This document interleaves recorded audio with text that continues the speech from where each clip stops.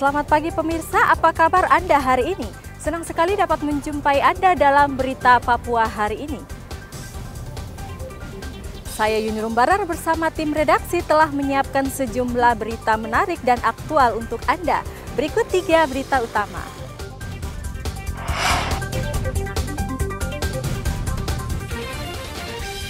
Sebuah bangunan yang digunakan untuk menjual mobil bekas di Merauke terbakar.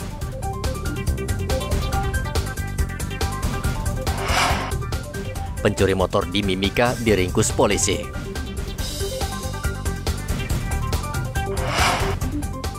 Kasus COVID-19 di kota Jayapura meningkat, tiga kecamatan kembali masuk zona merah.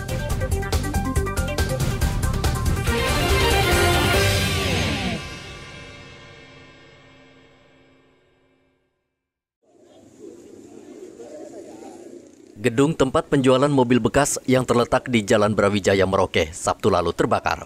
Kebakaran ini juga menyebabkan tujuh mobil yang terpajang hangus terbakar.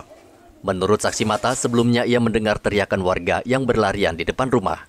Ketika keluar, ia melihat api dari dalam showroom tersebut sudah membesar. Menurut saksi, api diduga berasal dari dua warung makan yang terletak di samping showroom. Kejadiannya kurang lebih setengah enam, Pak. Setengah enam pagi ya? Iya. Itu awalnya bagaimana Pak Nandar? Awalnya itu kita dengar itu anak-anak dari Senayu yang biasa ikut mobil saya, Hmm. anak-anak sekolah itu mereka jalan pagi. Ya. Jadi mereka teriak, Om Nandar, Om Nandar, api, api. Hmm. Terus kakak, kakak, api, api, api, api. Ah sudah, itu dia bangun. Eh, akhirnya ada api nih. Katanya ada kebakaran di mana kita lihat. Ah, sudah nyempul asap dari warung Surabaya ini. Hanya kita tidak tahu awal apinya kita dari eh, warung Padang ini atau warung Surabaya. Oh, ada dua warungnya Pak ya? Ada dua dua bangku. Oh. Iya. Kita tidak tahu bahwa itu api itu dari mana. Hanya Awalnya, saya tahunya ah. saya sudah Sudah asap nyepul, apa. Tapi sempat untuk dilakukan anu Pak, bantuan untuk memadamkan itu. Iya sempat itu air kan kebetulan saya selalu siapkan air di gentong itu. Untuk kalau ada apa-apa kan kita langsung siram-siram. Iya, iya. Begitu siram-siram apa-apa begitu. Ini yang terbakar apa Pak? Warungnya berapa ini? Dua ini? Ada dua unit warung Ah, sama terus showroom mobil. Showroom, showroom mobilnya ada berapa mobilnya ini Pak? Kurang lebih mungkin tujuh kan? Nah, Tu- Tujuh mobil ya? tujuh mobil. Yang terbakar Kurang ya? lebih ya. Tiga mobil pemadam kebakaran diterjunkan dan satu jam kemudian api baru bisa dipadamkan. Polisi masih menyelidiki penyebab pasti kebakaran itu. Muhammad Ridwan melaporkan dari Merauke, Papua.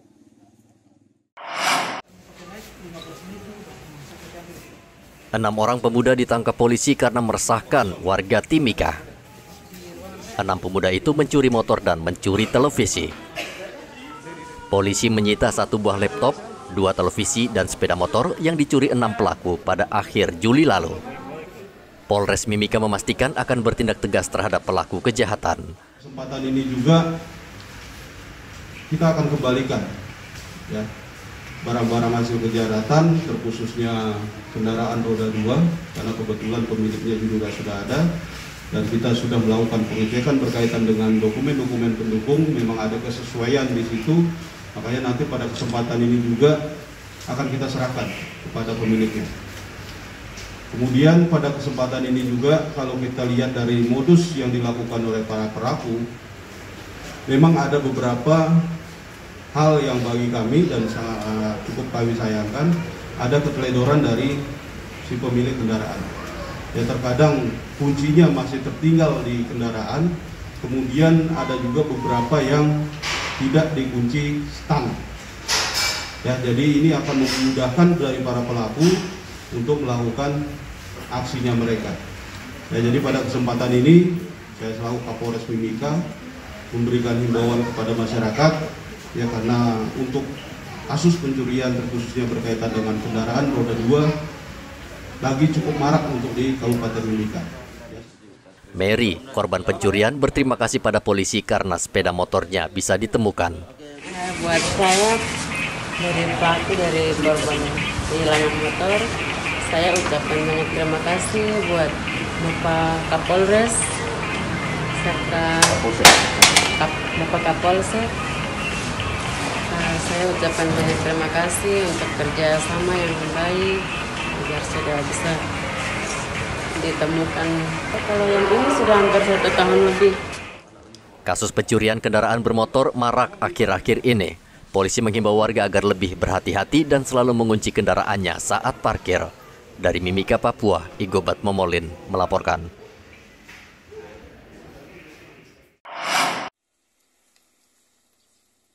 Kepolisian Merauke Sabtu lalu meringkus empat pencuri alat-alat pertanian milik warga. Dari tangan pelaku, polisi menyita sebuah mesin traktor. Keempat tersangka merupakan komplotan yang beroperasi secara terorganisir dan spesialis mencuri peralatan pertanian. Informasi barang-barang tersebut ada di hmm, pembeli besi tua, hmm. yaitu di keberadaannya di Jalan Tidure, 5 buah, dan di jalan Seringgu ada 10 buah. Setelah kita melakukan pengecekan di sana, kita temukan barang-barang tersebut bahwa benar itu barang yang hilang milik PT Sonseng. Kemudian kita melakukan lidik lagi terhadap pelaku dan kita sudah dapatkan pelakunya berinisial A yang sementara kita ada amankan tadi. Nah ini merupakan komplotan Pak Kapolsek?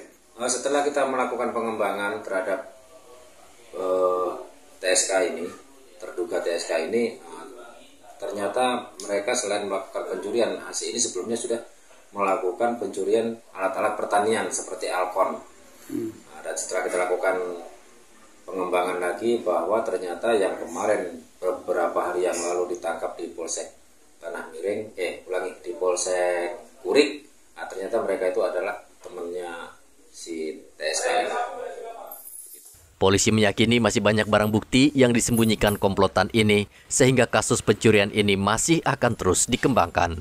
Muhammad Ridwan melaporkan dari Merauke, Papua.